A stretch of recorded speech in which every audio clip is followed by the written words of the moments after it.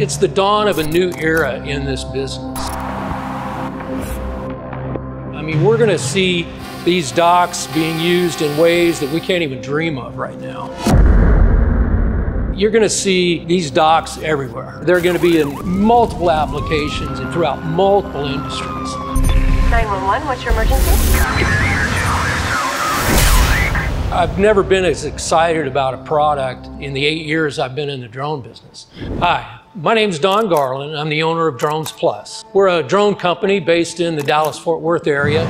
Ever since DJI announced their new drone dock nearly a year ago, we really couldn't wait to get our hands on our first demo unit. The wait's over. We received our first dock uh, yesterday and uh, wanted to share uh, with you just a few features about it. We like to keep our videos short. We're not in this to sell ads. Uh, we're drone guys. We plan to do a series of these, uh, getting more and more detailed uh, as we go and as we get more experience with the dock. We start flying it and putting it in service. So let's get right into it and let's show you the dock.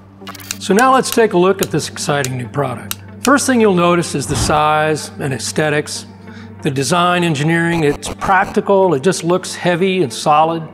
It's designed like an expensive work truck that looks amazing, but you just know this thing is going to perform under the most demanding environment.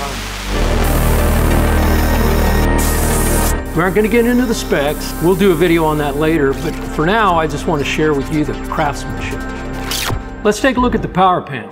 Looks like a smaller version of a power panel built for a high-end yacht.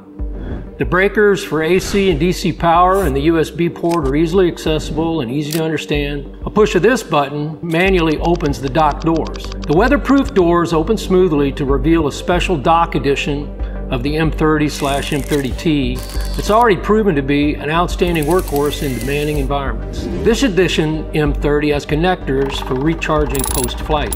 The dock and drone have built-in RTK that allow for precision takeoffs, flights, and landings. Again, not getting into specs, but suffice to say radio range and battery power are impressive and more than adequate for a wide range of applications. Now let's take a look under the hood. Wow, I've seen a lot of other docks. Most are a mismatch of parts cobbled together. You look at this and it's like an expensive sports car. Very well designed. Everything is modular for ease of maintenance and repair. The air conditioning unit at the heart of the dock provides cooling between flights to ensure the battery is properly charged and are properly maintained.